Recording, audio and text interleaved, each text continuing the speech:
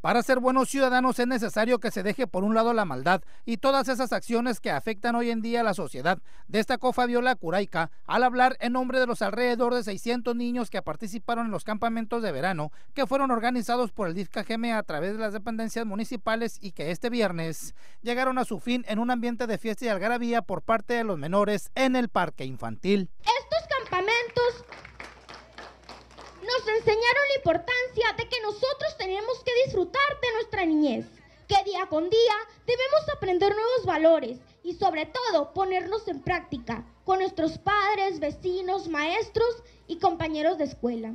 Aprendimos que desde ya debemos trabajar para que en un futuro seamos ciudadanos, ciudadanos de bien, ciudadanos con valores, ciudadanos buenos que harán algo bueno su comunidad. Por su parte, Margarita Vélez, presidenta del DIF y acompañada por su esposo Sergio Pablo Mariscal, exhortó a los menores a hacer caso a sus papás y sobre todo tener presente que solo con estudio y trabajo podrán hacer realidad los sueños y ser personas de bien para su comunidad. Y vemos en ustedes niños felices y contentos que son el futuro de esta ciudad nuestra y de este municipio nuestro, de estos poblados.